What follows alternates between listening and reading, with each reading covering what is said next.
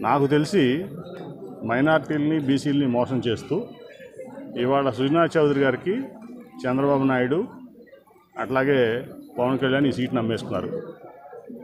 నిజంగా కూడా ఈ రెండు పన్నెండు సంవత్సరాలు రాజ్యసభ మెంబర్గా ఈ ప్రాంతం నుంచి మరి సుజనా చౌదరి ఎన్నికయ్యాడు హైదరాబాద్లో ఉంటున్నప్పటికీ కూడా.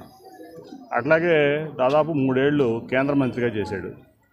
ఈ విజయవాడకి కనీసం ఒక్క రూపాయి ప పనైనా చేసినటువంటి పరిస్థితి ఈ సుజనా చౌదరికి లేదు. ఎంతసేపు తన సొంత వ్యాపారాలు తన సొంత వ్యవహారాలు తప్ప కేంద్రంతో లాబింగ్ చేసుకుని తన సొంత పనులు చక్కబెట్టుకునేటువంటి పరిస్థితి తప్ప ఈ ప్రాంతానికి ఆయన కేంద్ర మంత్రిగా ఒరగబెట్టింది ఏం లేదు. అట్లాగే చంద్రబాబు నాయుడు ఒక వంద కోట్లు కూడా మరి విజయవాడ నగరానికి ఇచ్చినటువంటి